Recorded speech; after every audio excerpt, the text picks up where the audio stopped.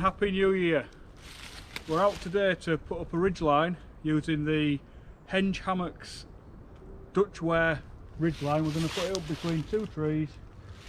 Uh, we'll get a real-time video of me setting it up and then I'll get you on a head cam and we'll go and have a look at how it's actually done. Uh, run through a few little stats and statistics after and um, we'll put a tarp up so you can see the Nama claws working. But yeah, I'm just in a little woodland near my house. Uh, quite busy, so you might hear other people. But we'll get one made. Okay, so we're going to put, put the ridge line up now. I have got it laid out on the floor already. So start with the Dutch hook end.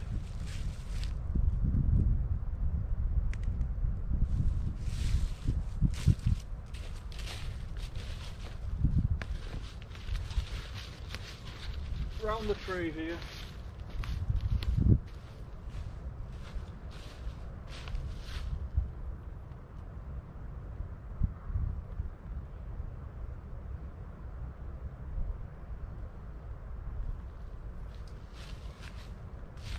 Done.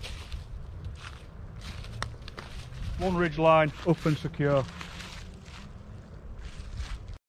Right, we're going in with the head cam, which I've never used before. So we start this end with the Dutch hook, straight round the tree and back on itself and that just clips through. That'll secure this end straight to the tree, nice and simple. Walk your ridge line back to the other tree.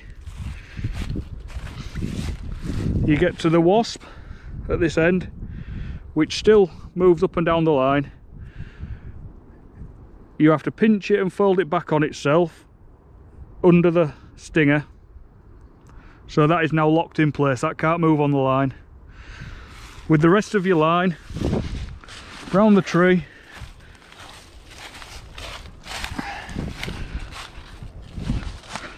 back to the wasp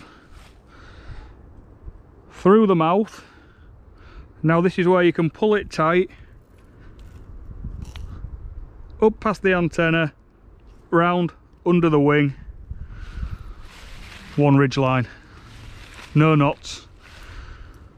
The Nama claws are brilliant. We're going to get the tarp up with that in a second. So we'll, I'll leave that ridge line where it is and we'll get a tarp up just to show you how these claws work. So for the tarp, I've just got a little bit of two mil straight on there now you can slide the Nama claw to where you need it and once there's pressure pulled back on it it locks itself in place and that is as simple and as tight as it'll need to be. So again once the pressure's off the claw will move. Once the pressure's applied it grips the Amsteel there locks it in place.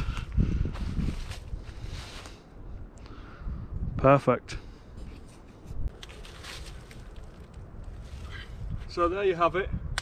The Dutchware ridge line using Nama claws, Dutch hook and Dutch wasp I've pegged the tarp down just for effect really I aren't going to stay I'm going to go back home and have some dinner with the family for New Year's Day. The ridgeline itself, I got the long version which is 15 metres and that weighs in at 35 grams all in including all the titanium bits on it.